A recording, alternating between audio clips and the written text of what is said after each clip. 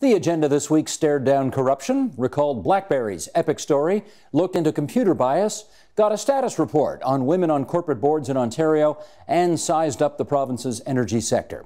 The agenda's week in review begins with the trouble with Brazil. Joining us now for a look at Brazil in Washington, D.C., Monica de Bolle a fellow at the Peterson Institute for International Economics and a professor at the School of Advanced International Studies at Johns Hopkins University. And here in our studio, Dan Jackson, filmmaker whose documentary In the Shadow of the Hill looks at how Brazil's police force dealt with those living in its largest slum in the lead up to the 2014 World Cup. Dan, it's great to have you here. I've seen the documentary. It's just fantastic. Congratulations on getting that done. Monica, uh, I'm uh, happy to have you on TVO with us tonight as well, and let's share these facts about Brazil before uh, we have our discussion here. Population north of 200 million people in Brazil, a GDP of 1.8 trillion. The growth rate? No, sorry, no growth. Declining, minus 3% last year. The population below the poverty line is more than one in five people, all of that according to the CIA World Factbook. Dan, sit tight for a second because I just want to talk to Monica off the top here and get uh, sort of an update on the political nature of Brazil's crisis right now. Uh, the, the, president of Brazil is in the process of being impeached, and the country is in political turmoil right now. Monica, just give us some of the background. Why has this happened? Well, there are a number of reasons. Um, the first, the first and most important reason is that there have been a number of things that have come to light um, with respect to you know the, the, the president and her um, involvement in several things, including um, possibly, though this is not the basis of the impeachment petition, but possibly um, some links to the corruption scandal coming out of the oil company Petrobras. The basis of the impeachment petition, however, has to do with violation of Brazil's fiscal responsibility laws. Um, but it's important to understand that all of this comes at a time when the president's um, approval ratings are at an all-time low. Um, obviously, part of that is because of the economy and the fact that, you know, as, as you mentioned before, the country's in recession. Unemployment is extremely high. It has already reached double digits. It's at 11% in Brazil. Um, wages are falling. So, in other words, um, people are suffering. And this is, this is of course, a direct um, reflection of the president's lack of popularity. But this is not just a popularity context. I mean, in, in, in, in a lot of ways, there is um, a lot of um, dissatisfaction with respect to the president herself and to her involvement, you know, direct or indirect, in this whole scandal that swamped the country in the last year and a half. Corruption is a theme that obviously runs through politics in Brazil, and Dan, as you show in your documentary, it runs through law enforcement as well. We want to show a clip from your documentary, and, uh, and then we'll come back and chat about that, okay? Sheldon, if you would, let's roll that, please. Só para fazer uma síntese do que está acontecendo hoje no Rio de Janeiro. Entre janeiro de 2007 dezembro de 2013, houve 38 mil casos de desaparecimento. Que a região metropolitana do Rio de Janeiro está coalhada de cemitérios clandestinos. É informação importante. O perfil são, em geral, jovens, negros, pardos, do sexo masculino, moradores de comunidade pobre. Eu estou defendendo é, que a polícia hoje ela desaparece mais com as mortes porque não entra numa estatística de morte da polícia, mas no desaparecido. Tem um depoimento de um policial recente que ele diz exatamente isso. A gente não deixa mais o rastro do crime. Leva para o rio e joga, joga fora. Just some spectacular shots in that uh, documentary of yours, Dan. Thanks, Dave. Uh, tell us, uh, tell us more, first of all, about where your documentary is located. It's located in Rio de, Janeiro, Rio de Janeiro's most populous slum, Rocinha, which is actually straddled by two of Rio de Janeiro's most wealthy suburbs. Those high shots that you take of it, though, bright, beautiful colored homes, it, it, it looks gorgeous. Uh, you'd never know that it was a slum where people are really living cheek by jowl, right? It, it's certainly a very picturesque place from, from certain angles, but once you get deep into the community, you, you, know, you see quite plainly the other side of, of existence in the community. Now, we talked about political corruption with Monica, but this is clearly corruption based around uh, what the police claim is an attempt by them to rid the community that you focused on here of drug traffickers who they say run amuck in there. Mm. What have you found out about whether that's an accurate claim? Well, I mean, I mean, the pacification programs were um, were put into place shortly after the announcement that Brazil would host the World Cup, and, and shortly thereafter the the Summer Olympics. Now, essentially, what happened was the police went into a number of Brazil's favelas and what's a favela? A favela is a, a it's a slum essentially, um, to to uh, set up a permanent presence in there and to um, you know, get the get the drug traffickers out of the territory. Essentially, it was it was all about reclaiming territory. You've got your cameras in the streets, and you've got the police coming in, guns ablazing. You can hear the shooting going on quite frequently. Hmm. What's it like to live there under those circumstances? Well, uh, to be completely honest, I had a fantastic time living there. I'm, I'm not going to try to glamorize it. There are some very um, very negative sides of life in the favela. There, there are quite constant shootouts at times. I mean, the security situation there undul undulates quite ferociously. Like sometimes you'll go to sleep with the rattling of machine guns on a nightly basis, and other times you'll go for months uh, without hearing a single gunshot. So there is a huge ebb and flow of the security situation within the community. But on the other side, it, what I found was an extremely welcoming community um, there was a real sense of community spirit there, and, and you feel that when you walk in, and, and I felt very welcomed from the outset. Corruption is now undoubtedly the single greatest threat to the viability of democracies, to national security, and to the rights of all mankind. Not terrorism. Not terrorism. International terrorism would be impossible without the corruption which provides the financial backbone to finance terrorist organizations. Until 2010, the BBC conducted a worldwide survey uh, of, of citizens across the globe to find out what are the citizens of the world talking about. The single most discussed subject on the planet, more than, uh, more than religion, more than politics, more than war and peace, more than jobs and the economy, was corruption. Corruption is now the, the main driver of terrorism, the main driver of, of war and famine. It is the source of most of the miseries that beset the human race. Let's continue around our table here. Anita, what's your view on that? I think in this respect, you need to look at which jurisdiction we're talking about. Mm -hmm. Canada and the United States, although there are corrupt companies, without question, uh, have a very strong uh, securities and corporate law regime. Enforcement of the laws on the books is always an issue, uh, but in, in terms of the comprehensiveness of the legal regime, uh, we stand in fairly good stead. So, in your view, not everybody is on the take. I think we need to be specific about what we're talking about when we use the word corruption and when we use uh, the words uh, enforcement and which country in particular we're talking about is very important. Well, as a matter of fact, we do happen to have a little list here. Sheldon, can we do this now? Let's go. Here's a list. This is, Alicia, your organization that puts this out. Mm-hmm. Uh, the Transparency International organization puts a list out of the least corrupt countries. We should all move to Denmark. They're just wonderful there. Denmark, number one, Finland, Sweden, New Zealand, Netherlands, Norway, Switzerland, Singapore. There we are at number nine, which is not bad if you consider maybe 200 plus countries in the world. We're number nine. Germany, Luxembourg, the UK, the US, incidentally, at number 16. Uh, okay, so you guys study this. How corrupt is the world based on your latest findings? Well, Transparency International has been around for over 20 years. The Canadian chapter has been around for almost 20 years. The fight against corruption continues and it's not getting any easier. And those findings show only part of the story. Uh, the fact that we are ninth least corrupt country in the world does not mean that we do not have corruption problems. We also have uh, an index called Global Corruption Barometer, which looks at public perceptions of corruptions. And for instance, 62% of Canadians in our uh, 2013 study thought that political parties were corrupt in Canada. Hmm. Okay, Martin, you've done a little reporting on this. Would you like to equate what's been going on related to political fundraising at Queen's Park with corruption?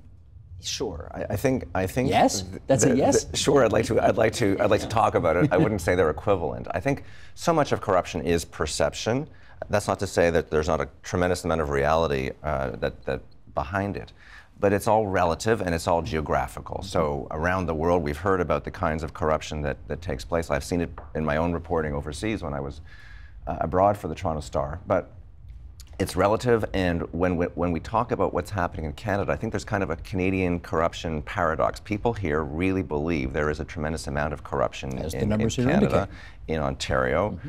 And I, I, think that to go from that perception of corruption to, to criminality is a, is a huge leap. Uh, we had the Charbonneau Commission in Quebec, which looked at, at uh, corruption in Quebec and it found a lot of leads and a lot of interesting material. But the amount of actual corruption in Quebec was relatively slim, at least in terms of what we found. In Ontario, there hasn't really been any smoking gun.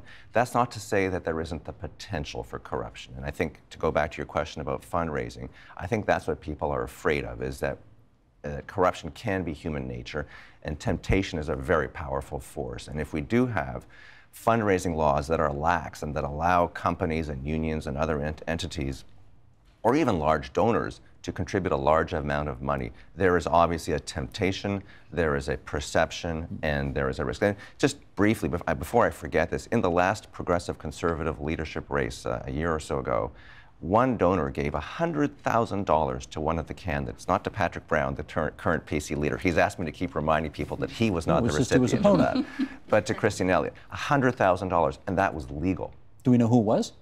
It's, it's the heir, uh, the son of a forestry baron, if I can use that out, outmoded word in Northern Ontario. I forget his name. He had been an intern at, at Queen's Park, much like your interns here at TVO, and had uh, thought that, thought well of Christine Elliott. But $100,000, my goodness, how could that possibly hmm. happen and not have have implications for perceptions of corruption? Let me read this to you, and I'll get your view on this.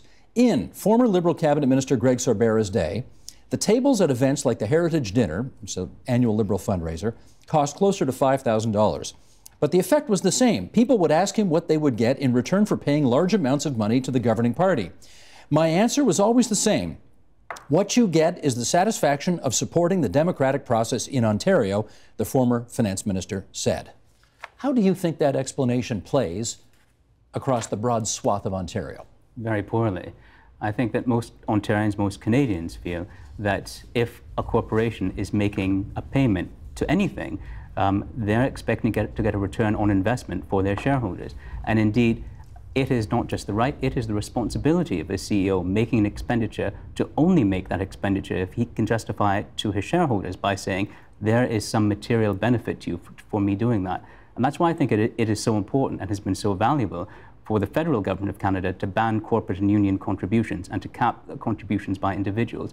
And I'm heartened to see that the government of Ontario is likely to follow suit. Every, every government, though, Akaash, always says, I defy you to find a smoking gun. I defy you to say that contribution begat that policy change which benefited this company. Fair to say? Uh, it's fair to say that everyone makes that argument. I think it's also fair to say that it is almost impossible in the complex world of public policy development to, to trace cause and effect, even when it is a virtuous cause and effect. Ultimately, there are two questions. First of all, are companies, let's say for the, the sake of argument, that all political actors are paragons of virtue. Nevertheless, corporations are making those donations in the hopes that they will purchase influence. Otherwise, there is no point to making it. And secondly, even if corporations themselves were also paragons of virtue, it is sapping public confidence in the, in the political system. How do you know that? One of the reasons why I think that Canadians feel that, that Canada is, does have a corrupt system up, above and beyond any evidence to the contrary is the fact that there is this constant drip feed of stories in the press about large contributions. And I do think it is fair enough for Canadians to say, what are those people getting in exchange for the money that they're donating? Moreover, the fact that the, political, the federal political system has worked extremely well without corporate contributions demonstrates that corporate and large individual contributions are not necessary to maintain our democracy.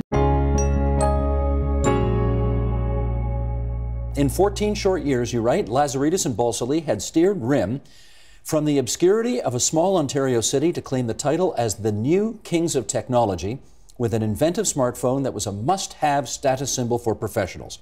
Contrasting personalities that might have driven Lazaridis and Balsillie apart during the stressful fight to survive instead united them into a stronger force against RIM's adversaries. By its 2006 fiscal year, the company's revenue exceeded $2 billion. Did they look unstoppable at the time? Absolutely. They were unstoppable even when Steve Jobs had introduced the iPhone. They were then a $20 billion company. I mean, this company that started above a bagel store in Waterloo has taught us that you can create a $20 billion global company. Where they ran into trouble was that while they were scaling to keep up with that incredible demand internationally in India, Indonesia, you name it, they were hot, Africa, their foundations were being eroded by Apple. And did they not see that threat by when it presented by itself? 2009, 2010, they could see it. Hmm. But what do you do? Do you go to your board of directors and say this thing that's worth $20 billion we're going to have to drop it and focus on something completely different. We're going to have to take the wrath of the stock market for backing away from this $20 billion market. These are tough calls. Yeah. And the board was not a very strong board in the sense that they had limited technology experience. They were seasoned Canadian businessmen and women who really didn't understand technology or Silicon Valley. And between that and Mike and Jim, it made, it, it made the, the decision that needed to be made in retrospect very difficult. Beyond that, Jacquie, they got into uh, some real big time trouble. They got dinged for hundreds of millions of dollars in fines for patent infringement. They got dinged by the Ontario Securities Commission for cheating to take excess profits, backdating some of the stock options. The stock yeah. options, that's where they were. What happened to the Mike and Jim partnership as the sky seemed to be falling in on them? Well, this is where the story becomes Shakespearean because you have this great partnership, this great success, two men who didn't particularly uh, enjoy each other's company outside of work. Um, became um, horribly divided over the stock options scandal. And each of them has their own perspective, each of them has their own sense of betrayal. The upshot is, is that Mike had to go before the SEC to be interrogated and you know face the prospect of yet another humiliation after the pat the patent case, mm. which you referred to. Um, and he blamed Jim, who oversaw the financing and the stock option decisions. So Jim thought this. he threw him under the bus. Jim felt he was thrown under the bus. He not only that, he said he felt he felt that Mike didn't appreciate all that he'd done for the company. And this is what happens when you got your back against the wall and you've been like the Stanley Cup team for six seasons in a row and suddenly you're bums. Mm. It becomes very hard to hold the best of relationships together. They fell horribly apart. You ended up in a situation where the company was run by two CEOs that really didn't speak to each other a great deal, mm. and two silos and two groups of people that are trying to make make either Mike happy or Jim happy. And so when you've got to pivot and change to adjust to the communication, and both CEOs have a different idea, Mike wanting to keep the handsets and Jim wanting to move into, you know, SMS point two, the you know the texting, the BlackBerry, uh, uh, you know, instant messaging that became very big a couple of years later. BBMs. Right. Yeah. So who is the board going to back? The guy that got fingered for the stock options scandal, the guy who was, you know, had a tough personality, or the guy who made the handsets that they loved? Hmm. The Storm was supposed to save everything. Yeah. What happened with Storm? Storm was the phone that Verizon wanted. It wanted to have the iPhone killer. And so they, they were the big carrier and they anointed BlackBerry to create the iPhone killer. And Mike went down to New York with BlackBerry Bold, which had yet to come out, and said, This is the way of the future. And they said, No, get rid of the keyboard. And they were looking at the greatest opportunity of their business career. And Verizon said, Give us this phone in two months. We want, want a touchscreen. They'd never done that. They didn't have the applications. They were they were about to launch the Bold and a bunch of other phones as well. So they had to do this within nine months. And Mike's idea was we want to create the tactile experience of a BlackBerry so that when you click the touchscreen, there's actually a little pivot underneath and you can hear the click. And that decision made sense at the time. When they machined these phones, they worked, but when they mass produced them, it was a disaster. I believe the return rate on these phones was 99%. They also tried to compete with uh, iPad with a little, what do they call it, the Playbook? The Playbook, yeah. That didn't go well either. No, you know, think of this uh, in retrospect. They raced to be in that business. They saw tablets as a future. They now understood screens. They'd learned from Storm. They launched the Playbook without the native email application. And Mike, to this day, thinks that that makes sense because you didn't have to have two separate plans. You could have your playbook, tether your BlackBerry to it, and away you went. Well, the average person that loved BlackBerry is going, well, where's the app that connects me wirelessly to my email? Mm. It wasn't there. And that was sort of, you know, one of the last nails in the coffin in terms of the public perception of the reliability of this company and the great sense that they were cutting edge and ahead of their time. That was Mike's bad call. Jim's bad call, I guess, was not appreciating the just explosive desire that the public had for ever more applications uh, to go on the device. So BlackBerry really doesn't run that many apps anymore, does it? It does, but to be fair to them, there was a reason that they had that mindset, and that is that when they were starting as carrier, you know, with the carriers, they were starting with uh, Bell South and a, and a number of other carriers, very limited networks, and their preoccupation was crashing and you know the networks going down. So they wouldn't let them have apps. And blackberry used to put sneaker apps in when they would do software upgrades. Mm. and they would light up the system more traffic would go through and they would get phone calls from the from the carriers who ruled the world. Steve jobs called them the four orifices because you couldn't get anything down their pipelines without their permission. And steve jobs rewrote the rules you know, and, and created one of the greatest wealth transfer, transfers of all time away from the carriers to Apple, which is now many times the size of all the carriers together. Of course, one of the things they're doing with that information is marketing stuff back to us that they think we'll be interested in based on what they know about us. What's the harm in that? You know, the marketing uh, fingerprint here is a, is a really interesting one. When you think about how essentially there are so many firms out there that are trying to gather data points about us to figure out exactly what to market to us. Um, there was recently a report by the Federal Trade Commission um, called Big Data, a tool for inclusion or exclusion. And what it stated was that very often there can be marketing directed to vulnerable consumers. So for example, there was a data broker list that referred to the gullible elderly. And that could be purchased by casinos who say want to target people that may want to just get rich quick.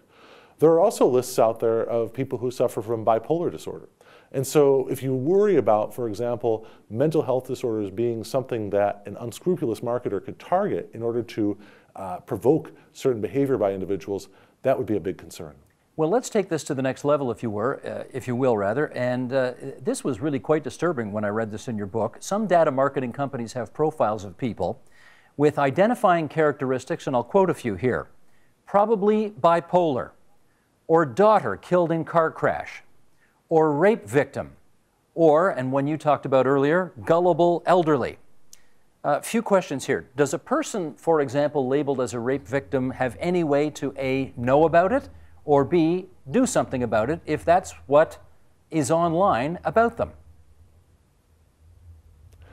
Unfortunately, many of these companies are based in the United States, and thanks to very expansive interpretations of our free expression clause of our Constitution uh, in the First Amendment, oftentimes there's very little people can do in terms of uh, if this is framed as an opinion about them. If it's reported as a fact, technically they could sue for defamation if it's wrong, right? You could, you could go after them. But the problem people face practically is there are at least 4,000 data brokers that are maintaining this type of information or other controversial information. And even if you went to 10 a day and demanded your profile, and first of all, many of them won't even give you the profile, but let's say that you know, they did decide to do so, even if you had 10 a day that you went after, you'd still have 400 left at the end of the year that you wouldn't know what the information was about you. So we really do live in a world where you've got these sort of star chambers, these secret dossiers about everybody that are circulating among these data brokers, and who knows where they'll be used next. Let's continue with an excerpt from your book. We're calling this Subjectivity as Science. Technocrats and managers cloak contestable value judgments in the garb of, quote, science. Thus, the insatiable demand for mathematical models that reframe subtle and subjective conclusions as the inevitable dictate of data. If these models can reflect subjective views, can they, for example, going on a bit of a limb here, but let's see, can they be racist? I think they can, and I'll give a very practical example of this. Um, there was a advertising algorithm that was matching up ads when people's names were searched. And an African American computer science named, scientist named Latanya Sweeney was upset to find that when she would search for herself on Google, the ad would come up and say, Latanya Sweeney, colon, arrested, question mark. Then she just, you know, on a lark, typed in Tanya Sweeney, and then the ad said, Tanya Sweeney, we found her, or something like that. And this was for a background check service. And what she was essentially uh, suspect, suspecting was that names that were often associated with African Americans were being associated online with uh, an arrest question, whereas other names were not. And she did confirm that. She did empirical research that confirmed that. And I think that's a real problem, you know, because I think that this type of thing is something that can happen in many different areas. People may not even be intending it, but it may just reflect user behavior, which is also problematic. Ontario is now an explain or comply jurisdiction. That is, ensure you have women on your corporate boards or tell the Ontario Securities Commission why you do not. Jennifer Reynolds is CEO of Women in Capital Markets, and she joins us now to tell us what's keeping women out of these positions and what can be done to fix that. Jennifer, good to meet you and nice to have you here at TVO. Thank you. Let's put some stats up first of all. This is from the Ontario Security Commission's report from mm-hmm. September of 2015. And they found at the OSC that about half of the 722 TSX companies had no women on their boards, zero. And 40% had none in an executive position. This is the first report the TXX, TSX companies have done since they became obligated to disclose those numbers. And I guess I wonder, for starters, is this kind of what you expected? Honestly, it was worse than I expected. Worse? Yeah. Yeah, I mean, I think it's shocking when you just put it in front of people. That transparency, that disclosure uh, is shocking. I mean, a further 30% of boards only have one woman. Uh, so it is, I think it's quite shocking. And I think people in Canada actually would be surprised to know that we rank globally uh, very poorly when it comes to gender diversity in leadership. And I think we think of ourselves as a very diverse, inclusive culture here in Canada. Well, we are. Except uh, not not in corporate Canada. Not in corporate not Canada. in the boardroom. Hmm. The the new rules, which uh, basically quote unquote say comply or explain. Mm-hmm. Explain what that means. Basically, they're asking Do you have a policy around encouraging gender diversity uh, in leadership on your board, in the executive suite as well? Uh, if you don't have that, you know, why do you not have it? What is your explanation for that? Uh, and so, unfortunately, what happened is only 14% of companies actually have a policy, a written policy uh, around gender diversity in the boardroom, and the rest of them didn't. So, very few actually have a written policy today in Canada. And is the idea that the more this is publicized, the more companies will feel embarrassed to do something That's about exactly it? Exactly what it is. Shame them. Yeah, it's transparency, right? You put the numbers out there. And we saw actually in the UK, they used a similar regime, uh, Comply or Explain there, and started it uh, back in 2012. Their numbers were very poor. They they had about 12.5% of their board seats were filled by women at that point. They put it out there, but they also had behind it an annual report, the Lord Davies report, it was called. And so it was. It, it was a report on how are we doing. And at the back, there was a list of exactly where everybody stood in terms of the companies and, and how many women they had on their boards. And so now today, they're up over 25%. So they, they met their, their goal of where they wanted to be at this point in, at the end of 2015. So I think it can work, but uh, I think it can, you, need, you do have to have a bit of that shame and you know you're doing nothing about this and you have zero women and there's no doubt in your mind that the reason they got from where they were to where they are is because of this I think there was a few different things going on there. There was the regulations, certainly. Uh, people all of a sudden had to report on this. Uh, and then also there was this Lord Davies report that was pushing people. There was a group of chairs and directors that were, were put together by um, a, a, thing called the 30% Club, uh, which aspirationally people signed on, these directors and chairs saying, we want to get to 30% over five years. So there was a whole movement on various fronts to push this forward, which in Canada, I think today, we do have the 30% here, it just launched, um, but we don't have a lot of the, the push that we saw in the UK yet behind the disclosure requirements. What is the explanation that corporate Canada gives for why the numbers of women represented on their boards is so bad? It's, it's pretty embarrassing, actually. Those that didn't have policies said that they only appoint on merit. So, what those companies are saying is that they couldn't find one woman for 50% of the boards in this country who merited a board seat.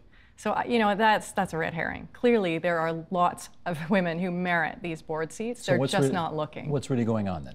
Well, I mean, the way it works in, in the corporate world, certainly at the board level, is that people appoint people they know.